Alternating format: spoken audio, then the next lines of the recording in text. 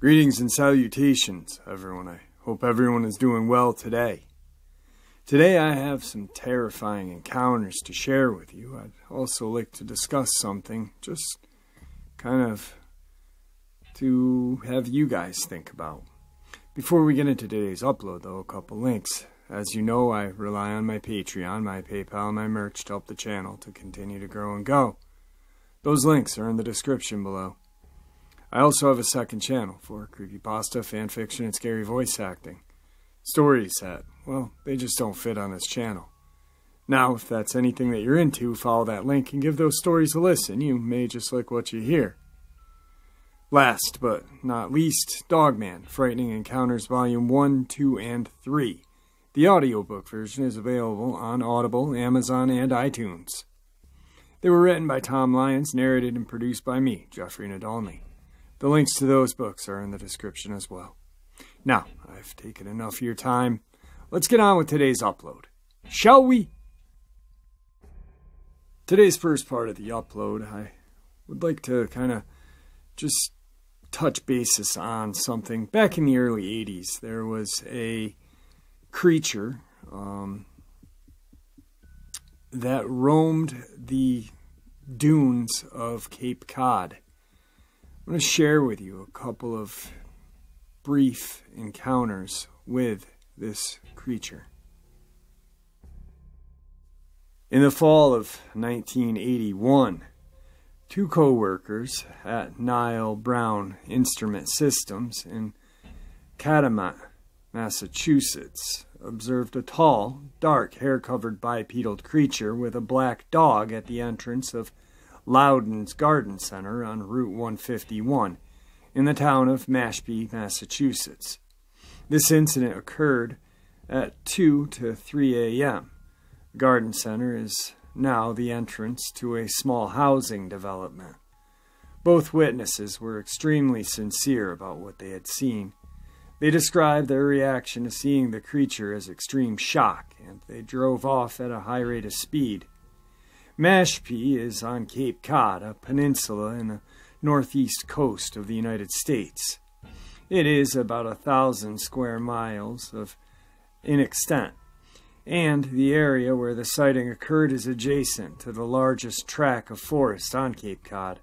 This forest is south of the adjacent Camp Edwards, an Army training base. Cape Cod is completely surrounded by water and is connected to the mainland by two bridges. In 1977 through 78, I lived in Sandwich. We were the last house in the neighborhood. Behind us was woods that ran for a mile or more in each direction. On a snowy Saturday, I was home alone watching television. My parents worked a lot, and even though I was 11 and 12 at the time, I was home alone a lot. I was watching TV in our den, which was situated between two windows. It was around noon and overcast. My dog frequently barked whenever a car drove up. When she started barking this time, I turned my head down our hallway and yelled at her to shut up. Looking back at the TV, I was startled to see a face peering through the window at me. To my best memory, the face was furry. Whatever it was, it was only around five to six feet tall. I screamed, and it made some kind of grunting noise. It immediately took off around the back of the house, running on two legs and through an open breezeway to the front and into the woods. To say I was frightened was an understatement. I immediately called some friends who came over to calm me down. After thinking about it for a while, I thought it could have been one of my friends wearing a mask and playing a joke on me. That theory ended when we went outside to see what the creature's footprints looked like. We were shocked to see hooved footprints. I never saw any sign of the creature again.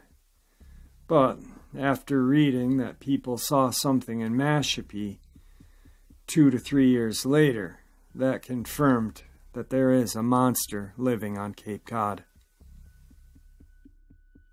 These are not the only sightings of this creature that were reported on Cape Cod. A lot of people uh, reported it as some sort of black dog, which was seen accompanying this large, hairy, bipedal creature. Um, a lot of people have claimed to see these huge black cats roaming the dunes of Cape Cod.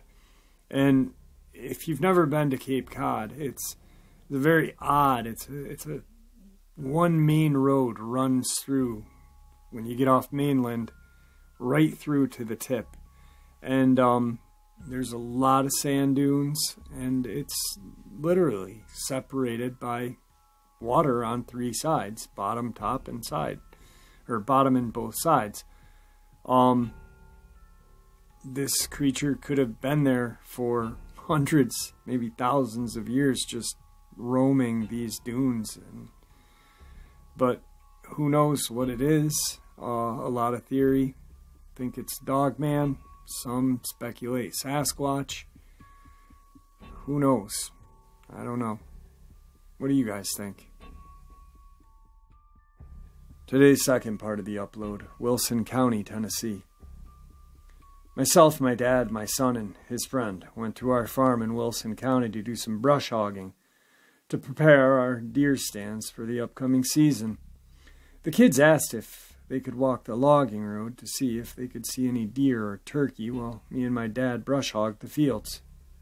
Twenty minutes later, my son was running with his friend towards the tractor out of breath. Dad, I don't care if you believe me or not, but what we just saw, I never want to see again. His friend said she saw it first. This is the story they told me. They were walking the logging road, and my son started hearing these loud crashes in front of them, to the right, coming toward them. He said he stopped and felt very uneasy about going any further, to which he told his friend he wasn't going any further, and she could if she wanted. She walked around the bend of the road, came walking fast back to him, and said, There was this thing looking at me from behind a tree, swaying left to right, as if to say, or to see what she was. It leaned as if to be curious. So, she not wanting to show it any harm by running or sudden movements, afraid that it would chase her, just turned and walked fast back to my son and told him there is something huge and black standing around the corner. My son started walking with her and turned back to see if he could see anything, and it had came around the corner and was staring at them. He said it was between seven to eight feet tall, had brownish black hair, almost like turkey feathers in color when the sun was not shining on its feathers. It had huge muscles showing through its fur. He especially noticed how broad its shoulders were and how muscular the arms were. At that time, they started running as fast as they could until they got to the field I was cutting. I eventually got off my tractor and then I drove to the spot, to the area where this all happened. The woods were dead quiet. No tracks were found, I didn't smell any foul odors, as I've heard this animal has, plus a storm was approaching. So I had to get back, put the tractor up. My son, who was sitting beside me as I type this, says, I just don't feel it meant us any harm. It was puzzled as to why we were there. There were men cutting hay on the next farm over, which had not been done for quite a while. There's no hunting, no more cattle. That place is not disturbed at all. So maybe it came from there. What makes me believe even more is that my son loves hunting and that farm, but now says he is not coming up unless he has protection, a gun, and will not walk that place alone. Whatever this was, or whatever happened to them, has changed them. The friend, which said she does not believe in monsters, is now a firm believer. My son's word, it wasn't scared of us, but we were sure scared of it. Today's third part of the upload is going to bring us over to the Ozarks in Missouri. I was just a kid when I saw it. I was sitting in the back of an old Chevy Citation at the time. It was pretty new. My uncle was driving, and my aunt was in the passenger seat. My little cousin, who was around four or five at the time, was sitting in the back with me. We were coming home, and I believe from visiting family or something. My aunt and uncle lived down this old dirt road, around two miles, and right before their driveway, which was on the left, was an old dry branch or creek that ran across the road. And it didn't have a concrete slab to cross over it. You just had to slow down a little to cross. Directly to the right of the creek was an old driveway leading to an old abandoned house, which nobody lived that for years. It was dark, so naturally we had the headlights on, and as my uncle began slowing to pass over the rough gravel, something in the corner of my eye came into view. My aunt kind of screamed, but not loudly, because we were amazed and terrified. Something that looked around eight feet tall. I know I was 10 or 11 year old kid, it was huge. Came across the branch which led out from the old driveway, and not running but walking briskly, came directly in front of the car. We all just stared, as it was some dream.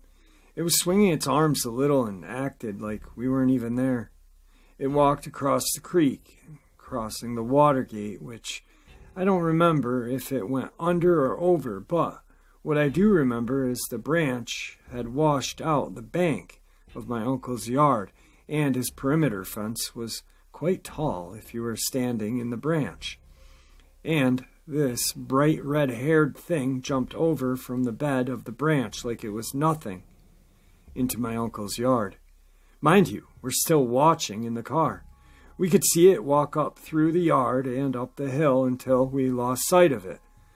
With the headlights, my uncle turned into drive, and we had locked our doors. My aunt and uncle went through the count of three things, and we opened the doors and ran inside. We got inside, my uncle got his hunting rifle out and went outside with his floodlight and looked for it. On his way back, which he didn't walk far, he tripped on the cord and it came unplugged. Then he yelled and got up and ran into the house and locked the door. To this day, if you ask him about what he saw, he will say he saw something, but he doesn't know what it was, or that somebody was just playing a joke on us. My aunt will tell me she saw something. My little cousin was too small to remember too much, but I remember, and to this day, I don't go into those woods without a weapon. To the best of my ability, this is what it looked like.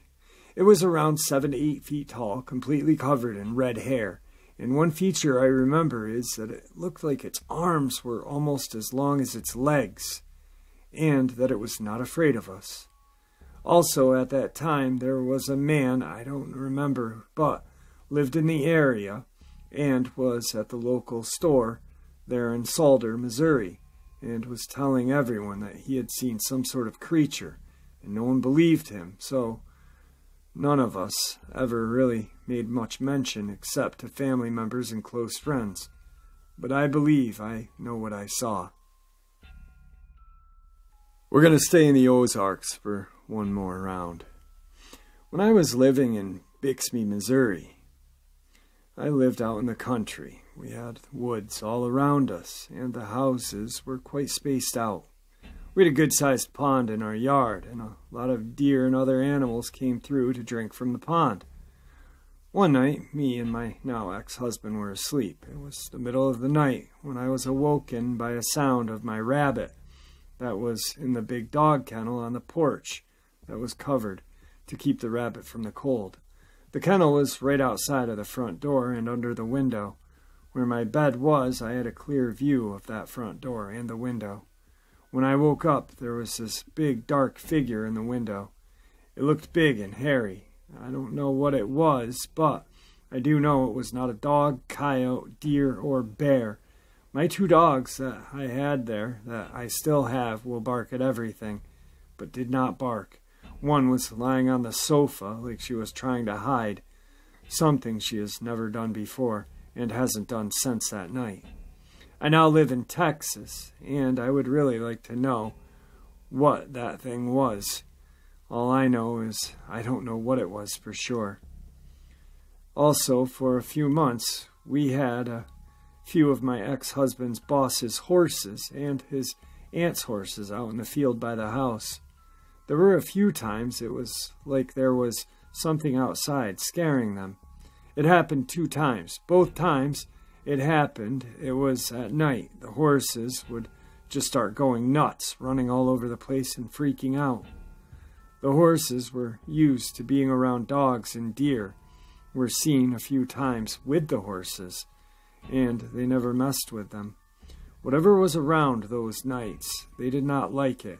They were scared of whatever it was. Let's move over to Jackson County, Missouri for this next one. I've been keeping this to myself for a while now. I've been a deer hunter for over 30 years and will not go back into the woods after what happened. I'm going to bullet point this incident. I was deer hunting. Deer were running around the woods crazy that evening. I had a small buck run past my stand. It was getting dark, 5:30ish.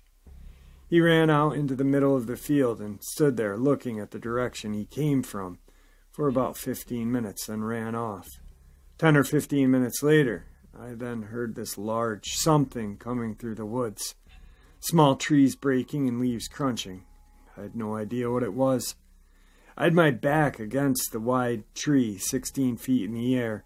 The tree is wider than my back, and you can't see me or my stand from behind. It stopped right behind me. It's now dark. I could hear it breathing. It was eight yards behind me. I didn't move. It stood there for about five minutes, then started sniffing the air like it was smelling for something. Then it started moving slightly. It was dry out and the leaves covered the ground, so you can hear anything move. Then two loud tree knocks. I then started to get chills down my back as I reached for my bow I heard two screams. I had my bow in hand, and my shooting trigger was on my bowstring, and I was at a full draw. The screams vibrated the woods. It stood there pacing behind the tree, left to right, then stopped to smell the air again.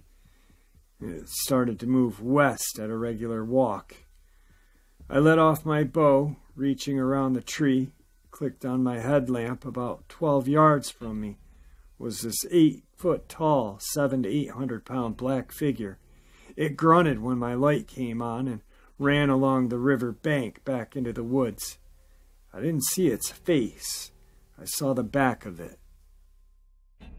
I will say this. It was hunting that night. It was smelling for a scent and chasing deer, looking for food. At the time, my bow was loaded with a one and a half expendable broadhead arrow Yes, I was at full draw, not knowing what was going on. When my light was on and I drew back my bow again, I was ready to shoot at it if it came across that stream. I know the exact yards as I've hunted this location for five years. I bow hunt, so I need to know the yards for arrow placement. Whatever this thing was, was massive. I don't know if it would harm anyone or persons, but the power that I could see in its body was unbelievable. Yes, I was scared, but I saw something that only a few people have in the world. We're going to stay in Jackson County. It was October of 92. I was bow hunting in the evening. I was on my neighbor's property along a creek. I was standing on the ground in front of a dike going around a field. The sun was just beginning to set. I had taken a few steps to begin to leave when I heard rustling coming from behind me. I thought it might be a deer, so I turned around and froze. I watched along the top of this dike or levee for a deer to come over the top. As the sound got closer, I finally saw a head come over the ridge of the dike. As the form moved up the dike, it got larger and taller. It moved over the dike no more than fifty yards from me.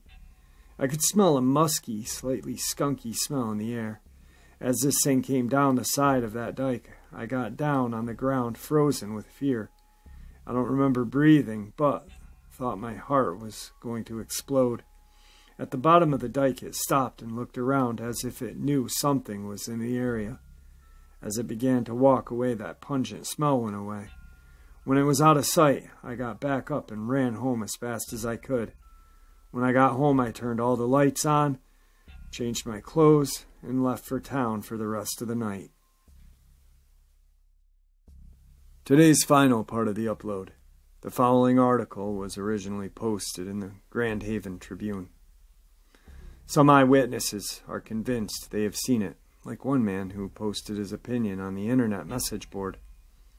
If you also live anywhere north of Grand Rapids in Michigan, how can you not know about the Dog Man? It is one of the largest legends in the area, and the story has been around for years, he wrote. It seems to me it is more than just a huge fantasy.